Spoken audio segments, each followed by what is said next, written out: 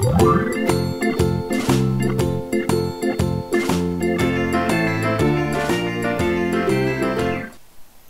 guys, how's it going? It's Cyndi and I am back with a brand new video and happy May 4th and May the 4th be with you. Um, this video is pretty much dedicated to May the 4th and of course for what's the other one? Revenge of the 5th. um, yeah, just wanted to be weird. And I wanted to make a video this week because I actually had a day off and I had a lot to do. So therefore, this is happening. So I decided to do something Star Wars related, and I've been honestly, I've been wanting to draw BB 8 for some time now. And I think today was the day that I drew, that I would sit down and draw BB 8. Um, I did a little bit of a different setup this time. I brought out my easel because the other day I did a painting. So I brought out my easel and I taped some paper down onto it, and therefore I just started drawing that way, and then my camera set up right over my left shoulder. So paper I am using is Bristol paper. Um, I cut it down to six by nine, and yeah, that's that's how I started. And then honestly, I've never drawn anything mechanical before. I'm not a mechanical person. Mechanical person. I'm more of like an organic drawer. I like drawing, you know, animals, and I like drawing like plant life, and you know, things with organic shapes to them. Like I'm not very into drawing like circles and squares. Um, it's just not something that I enjoy drawing. But honestly, this is this is something I really enjoyed. I like I really much enjoyed looking at all the little shapes that he has and whatnot, and trying to figure out what goes where. It was very a little bit stressful, but honestly, it paid off in the end. Um, I really loved the way it came out.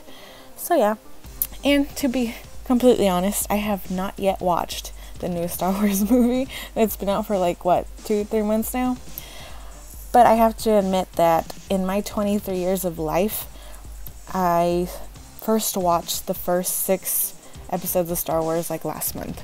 To be completely honest with you guys, I have I had not watched Star Wars till last month, which was okay. I mean, I really liked them; like they were really awesome.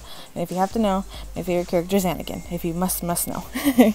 um, yeah, and then I heard that this new movie is coming out. Well, that makes no sense. Hold on. I when I found out that the new movie was coming out, I had to watch the old movies. And then I started seeing pictures of BB-8 and I fell in love with BB-8 without even knowing him.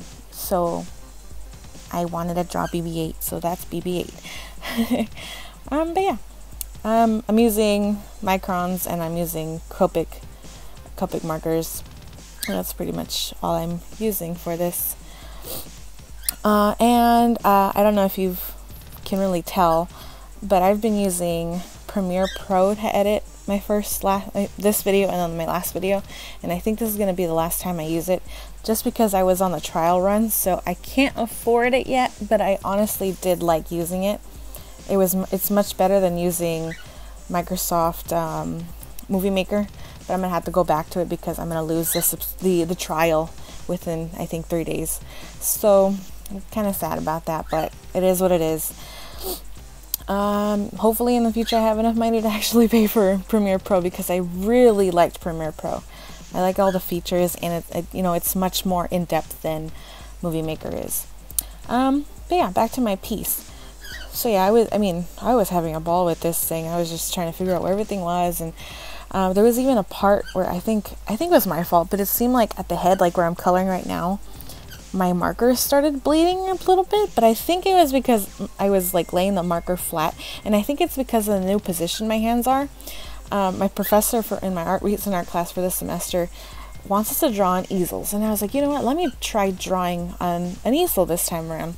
So it was my first time like actually using the Copics on an easel, so I needed a little bit more practice to get my hand the right, you know, pressure and whatnot.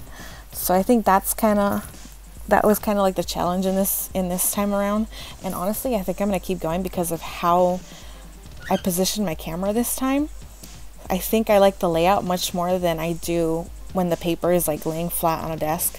So I think I'm gonna continue recording this way. I think I like this much more. You know, I've been playing around with like different ways of recording, and I think this is one that I quite enjoy. So I think I'm gonna keep it.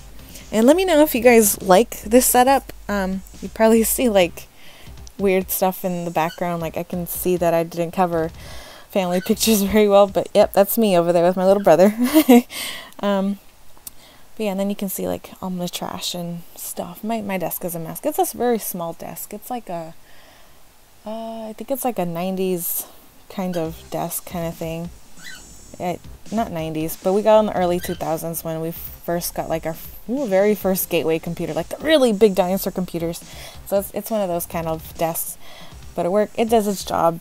I like my little desk, and I recently got a new chair. Like I literally, you know, college life, you kind of dumpster dive for stuff, but this one was set out on the curb, so I was like, hey, it's in good condition. I'm bringing it in, so that's how I got my desk chair.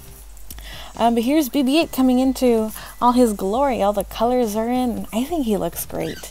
Um, there are there are a few mistakes in them. Like I, my hand slipped with the um, with the micron, but mm, what can you do? So otherwise, he looks great, and you can hardly tell the mistakes are there.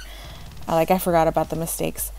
Um, and yeah, so I wanted to take a break here and say if you guys are enjoying this video so far, why, why not take the moment and hit that subscribe button? It really helps me out. Um, and let me know what you guys think about this drawing. Have you guys drawn BB-8 before? I would really like to see them.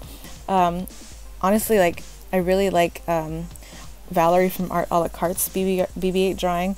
I just rewatched it right now just to see, just to like remember what it looked like. And she does a very nice job with it.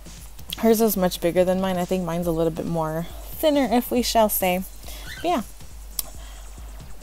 I hope you guys really like this video.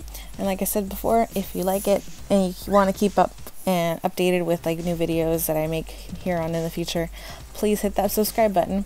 And you could also find me on social media. My description, my my social media links are down in the description below. And yeah, that's about that's. I think that's all I really want to say. And then here I'm just going with my brush pen going around because I didn't like how thin his body was. I, I don't know, I like the whole thickness of it. So I just went around with my Micron uh, brush pen and I love the way it turned out. And then I, here I made another boo-boo and I did a little bit of a kind of like a feathering by accident. So I went around and did a few random feathers. That way it looked like it was meant to be there, like if I did it on purpose. But yeah. Yeah, that's BB-8. And yeah, and here I almost messed up my own signature. You'll see me fix it. see. and that's it. And then here I put May the 4th, 2016, because that's today. Alright, and here's the full rundown of what BB-8 looks like. Oh, I see more mistakes, but honestly, he looks much better far, far away. yeah. Thanks, thanks so much for watching, you guys. I hope you have have had a nice May 4th, and I'll see you all later. Bye.